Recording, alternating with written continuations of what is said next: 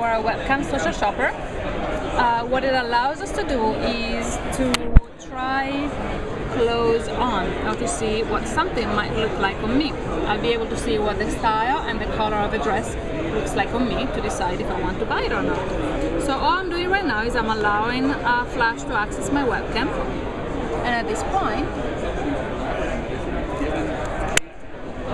the application is going to recognize my eyes and immediately uh, show the dress on me.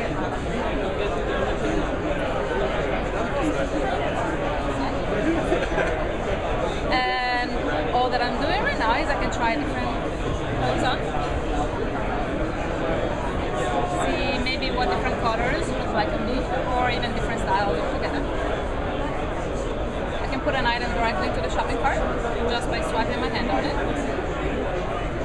I can, for example, picture and post the picture online so my friends can look at it and tell me, yeah, it looks good or it doesn't look good. And um, it's as simple as that, and I have now shopped online.